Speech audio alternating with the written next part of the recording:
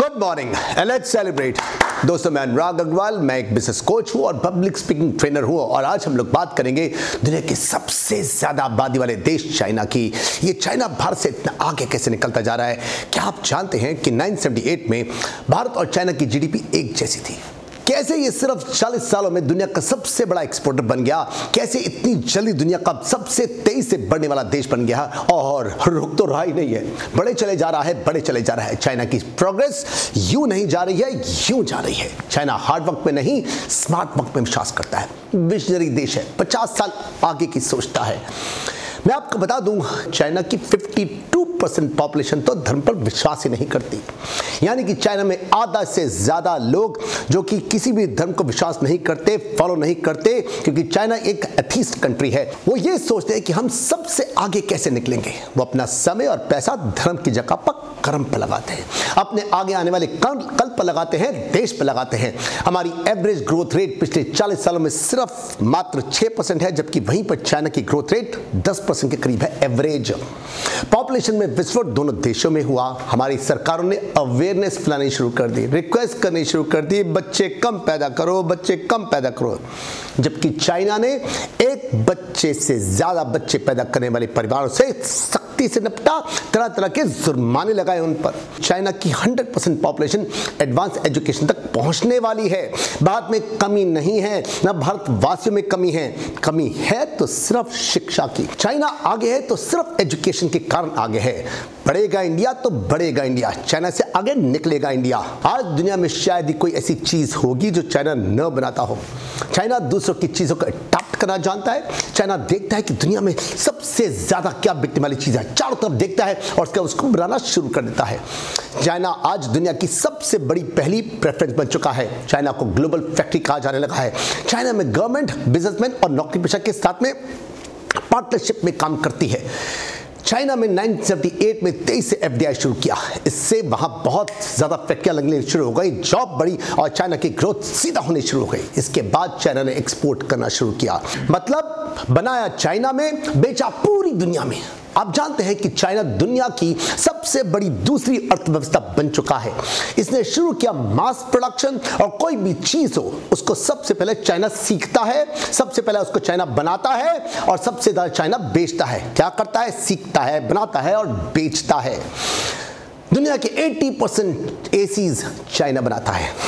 70 percent smartphones भी China बनाता है। 60 परसेंट शूज़ है, वो भी चाइना बनाता है। यहाँ तक कि 74 परसेंट सोलर सेल्स भी चाइना बनाता है। 60 परसेंट सीमेंट चाइना बनाता है। 50 परसेंट कोल का प्रोडक्शन भी पूरी दुनिया का चाइना बनाता है। 45 परसेंट शिप्स जो हैं, वो भी चाइना बनाता है। 50 परसेंट स्टील चाइना बनाता है। और इतना ही नहीं अमेरिका के 90 परसेंट फ्लैग्स भी चाइना बनाता है। जरा सोच के देखो कि अमेरिका का फ्लैग और अमेरिका से ज़्यादा चाइना बनाता है। चाइनीज़ कोई भी सौदा छोड़ते नहीं है और किसी भी सौदे में नुकसान नहीं उठाते। हम भारतीयों को सीखना है सौदे करने के तरीके। इन्हीं तरीकों की बात हम करते हैं अपने business course benchmark for business में। आप सोच रहे होंगे चाइना केवल चीप प्रोडक्ट्स बनाता है। आपको मैं बता दूँ कि दुनिया के 60 percent most luxurious brands China में बनते हैं। चाइना ये सब इसलिए कर सकता है क्योंकि उसके पास चिप लेबर नहीं, स्किल्ड लेबर है। चाइना में डेवलपमेंट का काम इतनी तेज़ी से चल रहा है कि पिछले 10 सालों में चाइना की इकोनॉमिक ग्रोथ, अमेरिका की इकोनॉमिक ग्रोथ से सात गुना ज़्यादा हो चुकी है। अमेरिका ने जितना सीमेंट 100 सालों में यानी कि 1901 से 2000 के बीच में यूज़ किया था उतना उससे भी कहीं ज़्यादा सीमेंट तो चाइना ने सिर्फ़ तीन साल 2011, 12 और 13 में यूज़ कर लिया। सोचिए कितनी तेज़ी से डेवलपमेंट का काम इस समय चाइना में चल रहा है। चाइना में एवरेज हर पाँच दिन में एक पचास मंजिल से ज़्यादा ऊँची स्काई स्क्रैपर बिल्डिंग बन जाती है। ये एवरेज आ रही है उनकी। उनका टारगेट है कि अगले सात सालों में, यानी कि 2025 तक 40 billion square metre skyscrapers building बनाने का, यानी कि इसका मतलब यह हुआ कि 10 न्यूयॉर्क सिटीज़ बनाने की बात हो रही है अगले सात सालों में। क्या आप जानते हैं कि दुनिया का सबसे बड़ा डैम जो है, वो भी चाइना के पास है। टेक्नोलॉजी में ये लोग इतने ज़्यादा एडवांस हो चुके हैं कि ये लोग जब 2008 में इनके यहाँ पर ओलंपिक्स हुए थे और स्टेडियम में एक मैच के दौरान में बादल आने वाले थे मैच बहुत महत्वपूर्ण था मैच खराब हो सकता था। इन लोगों ने फाइटर प्लेन से रॉकेट लॉन्चर से एंटी एयरक्राफ्ट गन से बादलों का रुख ही मोड़ दिया। इतने एडवांस है ये लोग। आज इलेक्ट्रॉनिक्स की दुनिया में ऐसी कोई चीज़ नहीं है जो ये लोग नहीं बना सकते। दुनिया में बिकने वाले सबसे ज़्यादा स्मार्टफ़ोन चाइना के ही बने होते हैं। दुनिया की सबसे तेज ट्रेनों में से भी एक ट्रेन इनके पास है शंघाई मंगलेव वो ट्रेन जो कि 431 किलोमीटर प्रति घंटे की रफ्तार से चल सकती है। और उसमें मैं खुद चढ़ा हूँ 2009 में, यानी कि करीब 10 साल पहले। आप रेस्टोरेंट में अगर अपने टेबल पर बैठ करके अपने फ़ोन से ऑर्डर करेंगे, खाना आपको अपने आप मिल जाएगा टेबल तक पहुँचता हुआ मिल जाएगा, आपके अकाउंट से पैसे भी अपने आप कट जाएँगे। आप डाइटिंग कर रहे हैं क्या?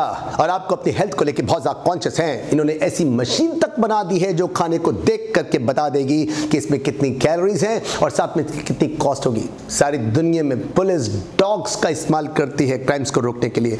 ये लोग डॉग्स के साथ में गीज को भी ट्रेन करते हैं। गीज और डॉग्स दोनों के दोनों यूज़ करते हैं। गीज जो है वो डॉग से ज़्यादा अग्रेसिव होती है। डॉग ज़मीन पर काम करता है और गीज हवा में उड़ करके अटैक करना जानता है। फ्यूचर के बारे में ये बहुत आगे तक की सोचते हैं कि अगर कभी किसी सिचुएशन ऐसी आई जिसमें कोडेड मैसेजेस भेजने हो और कम्युनिकेशन का सारा सिस्टम खराब हो जाए, इतना आगे की सोच रहे हैं कि ये कहते हैं कि परेशान होने की ज़रूरत नहीं है। इन्होंने टेक्नोलॉजी को इतना एडवांस के साथ साथ में अपने यहाँ पर पिजन्स को भी मैसेंजर ट्रेन की तरह शुरू कर दिया, जैसे पहले की होता था। जैसे पहले कबूतर चिट्ठी लेकर के जाते थे ना, बिल्कुल वैसे ही कबूतरों को एडवांस टेक्नोलॉजी के साथ में कोडेड मैसेज को ले जाने के लिए ट्रेन कर रखा है कि बुरे से बुरा भी हुआ तो तब भी ये लोग बुरे से बुरे दिन के लिए भी तैयार हैं। यही सब तो कारण है जिसकी वजह से 1990 में इनका ग्लोबल आउटपुट तीन परसेंट था, वो आज बढ़ के पच्चीस परसेंट तक पहुँच चुका है। अच्छा मज़े की बात देखिए, इतनी ज़्यादा आबादी होते हुए भी ये लोग डिसिप्लिन को लेकर के, अनुशासन को लेकर के बहुत ज़बरदस्त सख्त है ये लोग। उदाहरण लीजिए, आपने एग्ज़ाम में चीटिंग की तो पकड़े जाने पर सात साल की सजा होगी।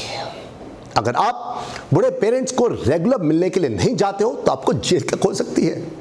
किसी कंपनी ने लोगों के साथ में फ्रॉड किया तो उसे फांसी तक की सजा हो सकती है। मैं आपको बता दूँ कि ये लोग कानून के लिए इतने ज़बरदस्त सख्त हैं कि दुनिया की तीन गुना ज़्यादा फांसियाँ इसी देश में होती हैं। इकोनॉमिक ग्रोथ के साथ में चाइना इंडिविजुअल ग्रोथ पर भी काम कर रहा है। चाइना के बजट का एक बहुत बड़ा अमाउंट इसकी रिसर्च और डेवलपमेंट पर पूरा होता है। पूरी दुनिया में रिसर्च और डेवलपमेंट पर जितना खर्च होता है, उसका वन फिफ्थ अकेले चाइना करता है। पिछले 25 सालों में चाइना ने 800 मिलियन, यानी करीब 880 करोड़ से ज़्यादा लोगों को गरीबी से बाहर निकाला है। इनका जीडीपी ग्रोथ हर साल 10 परसेंट का है और लिटरेसी रेट इतनी तेज से बढ़ रहा है कि 93.7 तक पहुँच चुका है 100 परसेंट पहुँचने वाला है, जो आपको मैंने पहले कहा था। आपकी जानकारी के लिए बता दूँ, ये इंडिया की लिटरेसी रेट से 49 परसेंट से भी कहीं ज़्यादा है। अगर कोई कंपनी चाइना में ऑपरेट करना चाहती है तो उसको सबसे पहले अपनी टेक्नोलॉजी टेक्नोलॉजी को चाइना के साथ में शेयर करना पड़ेगा। मतलब समझते हैं। मतलब हमारे यहाँ काम भी करो और हमें सिखाओ भी, हम भी करेंगे। इन्होंने सोशल नेटवर्क भी अपने खुद के बना कर तैयार कर लिए हैं। फेसबुक ट्विटर इंस्टाग्राम गूगल की जगह पर इनके अपने देश के बने हुए सोशल नेटवर्क ये लोग इस्तेमाल करते हैं। आपने वाटरफॉल तो देखे होंगे पहाड़ों के अंदर। चाइना ने वाटरफॉल खुद बना दिया। मतलब इनोवेशन और क्रिएटिविटी का तो कोई हिसाब ही नहीं है। दुनिया का सबसे बड़ा मैन मेड वाटरफॉल बना दिया है इस चाइना ने। साउथ चाइना सी में मैन मेड आयरलैंड तक बना दिया। दुनिया का सबसे पहला मैन मेड मून चाइना 2020 तक अगले साल तक तैयार कर देगा। चाइना के e commerce powerhouse Alibaba ने पूरे स्टॉक मार्केट को ज़बरदस्त हिला के रख दिया था पहले एंट्री में ही। क्या आप जानते हैं बैंकिंग सिस्टम इतना स्ट्रांग है कि दुनिया के चार सबसे बड़े बैंक चाइना के हैं। चाइना की 12 सबसे बड़ी कंपनियाँ कोई इंडस्ट्रीज़ नहीं चलाता वहाँ की सरकार चलाती है। ये मैप देख रहे हैं आप। इसमें जो येलो लाइंस हैं, वो छह लेन्स हाई स्पीड हाईवेज हैं। कितने सारे हैं ये? ये इनका ट्रांसपोर्टेशन सिस्टम है। बिना ब्रेक लगाए आप कई कई किलोमीटर तक जा सकते हैं। हमारे यहाँ पर सिर्फ़ दो सिक्स लेन हाईवेज हैं। एक्सप्रेसवेज हैं, एक यमुना एक्सप्रेसवे दिल्ली के साथ में और दूसरा है अहमदाबाद वडोदरा एक्सप्रेसवे शायद ही कोई ऐसी रोड होगी हमारे देश में जहाँ पर गड्ढे ना दिखाई दें।